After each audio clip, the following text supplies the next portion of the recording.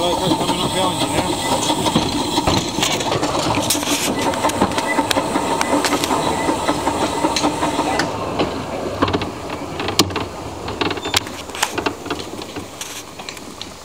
Okay, that one's going to come past it's just going to go straight on past you up, up, the line and go back. It lives at the other end of the line, that loco. So. Alright.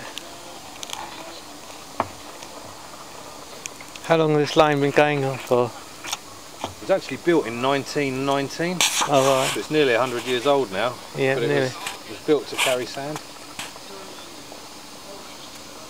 I noticed a quarry up the line. The sand quarry, Yeah. yeah. This used to be, a, there's a big housing estate down there now, that used to be a quarry. as well. All right. There used to be several quarries around here that the railway used to, used to serve.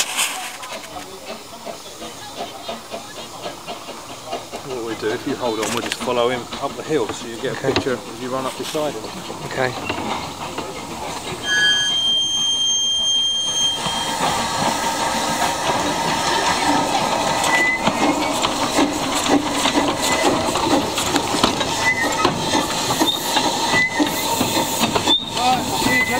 See ya.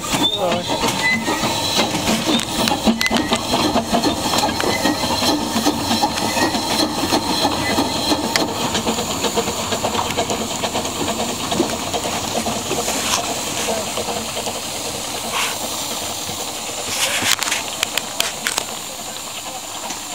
think we're going to go back the other way. Okay.